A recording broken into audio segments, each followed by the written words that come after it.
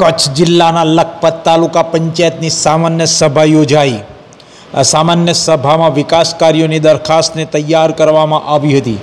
આવનાર દિવસોમાં કોંગ્રેસ પક્ષની ટીમ દરેક ગામમાં વિકાસના કાર્યો કરશે તેવો કોલ પણ આપવામાં આવ્યો હતો.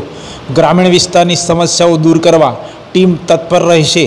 તેવું સત્તા પક્ષના નેતા પીસી ગઢવીએ જણાવ્યું હતું. આમ કચ્છ જિલ્લાના લખપત તાલુકા પંચાયતની સામાન્ય સભા આજે યોજાઈ હતી અને સામાન્ય સભા દ્વારા વિવિધ વિકાસ કાર્યો કરવાની દરખાસ્તો તૈયાર કરવામાં આવી હોવાનું જણાવાયું હતું.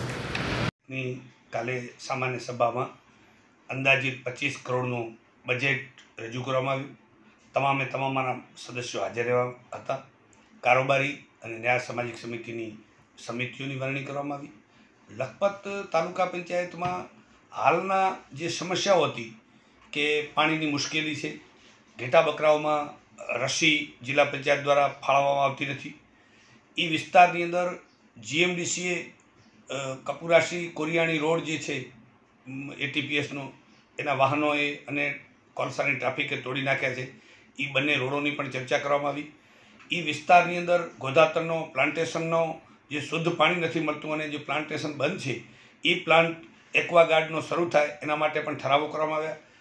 આખા વિસ્તાર માટે જે જે જગ્યાએ જે જે મુશ્કેલીઓ છે, એના અઢાર જેટલા ઠરાવો લઈ અને ઠરાવો ઉપર લખપત તાલુકા પંચાયત ઇમ્પ્લિમેશન કરે અને દરેક જિલ્લાની વડી કચેરીઓમાં જઈ અને આ તમામે તમામ ઠરાવના જે કાર્યો છે, શિક્ષકોની ઘટ હોય કે આરોગ્ય સ્ટાફની ઘટ હોય કે તલાટીઓની ઘટ હોય એ નિવારવા માટે તાલુકા પંચાયતના તમામ સદસ્યો, પ્રમુખ, ઉપપ્રમુખ અને અમો બધાએ આખી અમારી ટીમ, બંને જિલ્લા પંચાયતના સદસ્યો કટિબદ્ધ થઈ અને કાલે પ્રશ્નોની ચર્ચા કરવામાં આવી.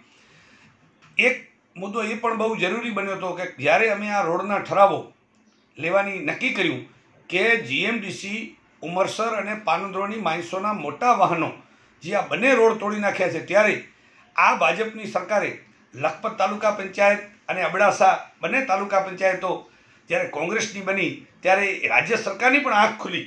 અને એમણે ગઈકાલે બજેટના દિવસે અમારા વિસ્તારનો ડાડી મોરાઈનો રોડ, કૈયારી જામ જખરા પીરનો રોડ અને ફુલરા ફાટકથી સીણાપર સુધીનો રોડ અને કપુરાસીથી કૈયારી ફાટકનો ચાર રોડો તાત્કાલિક મંજૂર કરી અને એમને જોબ નંબર પણ ફાળવ્યા છે અને એમની ગ્રાન્ટ પણ ફાળવવામાં આવી છે. એવું અમે દૈનિકો દ્વારા જાણ્યું. ત્યારે અમને એમ થયું કે ખરેખર અમે જે લોકો વચ્ચે ગયા હતા અને લોકોને વાત કરી હતી કે આપ નીચે સ્થાનિકે કોંગ્રેસને મજબૂત બનાવો તો રાજ્ય સરકારની આંખ ખુલે એવું કાલે સાબિત થયું છે.